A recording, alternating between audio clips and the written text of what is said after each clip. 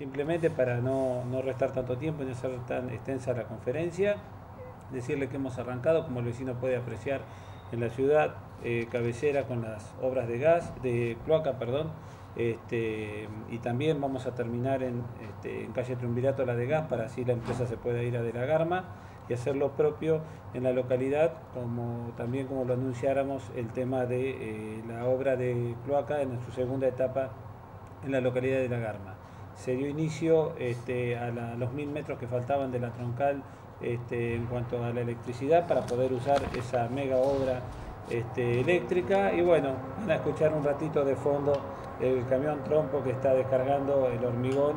Eh, seguimos con lo que son las refacciones de las veredas del Palacio Municipal, la plaza, la iglesia y todos aquellos edificios públicos que merecen ser reacondicionados por la antigüedad y por estar en el año del centenario y tener una comunidad en orden. Así que bueno, le doy el pase al doctor Maurer y después ya al doctor Carrera. Bien, dos cosas. Primero, eh, el tema epidemiológico, hacía dos o tres semanas que no informábamos. La situación es así, estamos exactamente igual que el resto de los distritos. Yo les anticipé, les conté hace tres semanas, creo que fue la última vez que hablamos, que se esperaba para fin de julio el pico. Esto coincide, esto hay una, una buena y una mala. La mala es, bueno, hay mayor prevalencia por una cuestión eh, de temporada e invernal de este tipo de enfermedades respiratorias, no solo gripe. Lo bueno es que al haber receso invernal, los colegios están cerrados, entonces esto genera que podría haber menos casos. En, definitiva, el Ministerio, Región Sanitaria, están todos, los médicos están todos contentos porque tenemos un problema menos. Esto primero, esto que quede claro, las indicaciones son las mismas de siempre. Ya les digo, hoy al no haber clases ya es, un, ya es un problema menos que tenemos en el contagio diario. Segundo, le volvemos a repetir a la población, capaz que por séptima vez, no utilicen la guardia del hospital como consultorio externo. La guardia es la guardia, es para casos de emergencia. Aprendamos todos, esto es educación para la salud, es, cultura, es respeto, es convivencia. La guardia está para cuando hay casos de emergencia.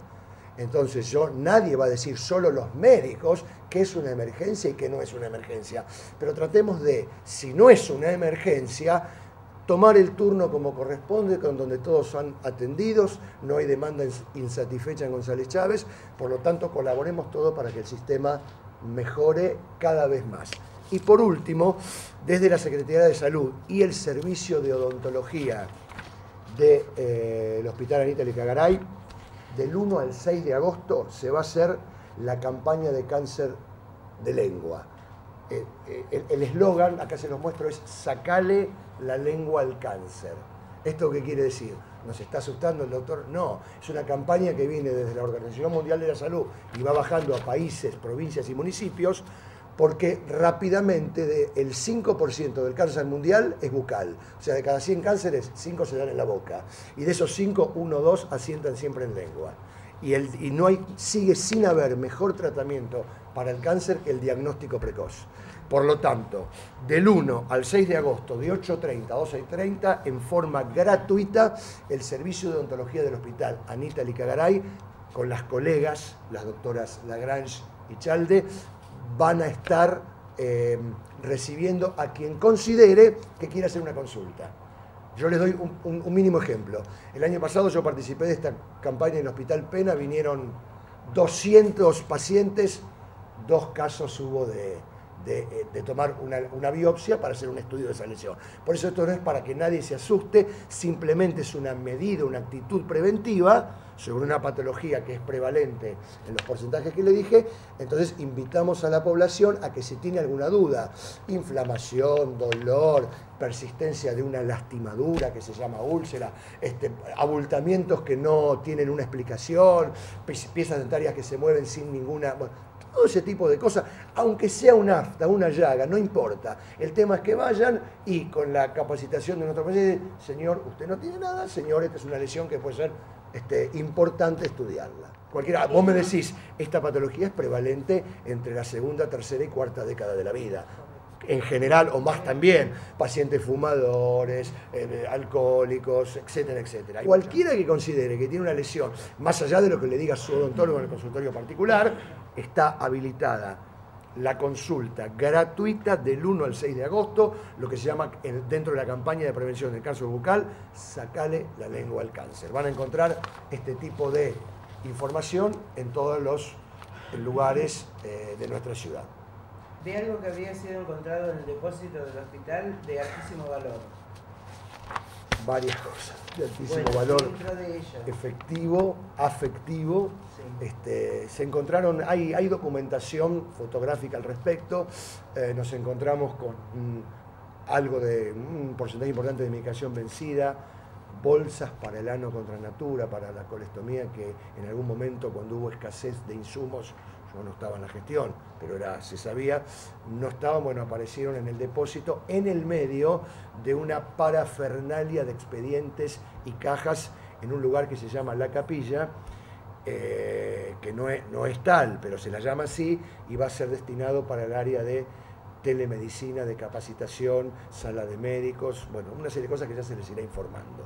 Eh, sí, hay un, se encontró un, desorden muy grande, documentación, em, qué sé yo, tensiómetros, lo que vos quieras tirado. ¿Dentro del ámbito religioso habría Se encontró, sí, hay algo de valor, yo no sé el valor, eh, sé del valor afectivo y sé del valor este, que tiene desde el punto de vista confesional, que es, eh, Miguel estaba, es un, es un cáliz. Es un cáliz, un copón y después están los diferentes elementos que usa el, cura para dar la misa, este, todo, digamos, este, sin usar y con un valor religioso importantísimo, eh, pero bueno, que ya va a ser puesto en valor y, utilizado este, como corresponde. Este, hay una cuestión, se encontraron los dosímetros pertenecientes al año pasado, esto quiere decir es una tarjetita con un código de barra, que es el que marca este, o cuantifica la radiación que recibe el técnico radiólogo, que hasta ahora, eh, ya le digo de manera, este, eh, sospechamos, digamos, que no han sido este, utilizados como corresponde. Al efecto, eh, ayer di orden de iniciar un expediente de averiguación sobre esa cuestión ante una nota presentada por el personal y la directora. Así que bueno, se han encontrado camisas nuevas sin entregar, eh, unas cuantas cosas que como dijo el doctor hay archivo fotográfico y que bueno, tendremos que ir este, eh, regularizando y llevando a un archivo como corresponde toda aquella documentación que corresponde ser guardada por el tiempo que marca la, ley administrativa. Miguel, si estás hablando de empleados de radiología, estamos hablando de prevención de salud.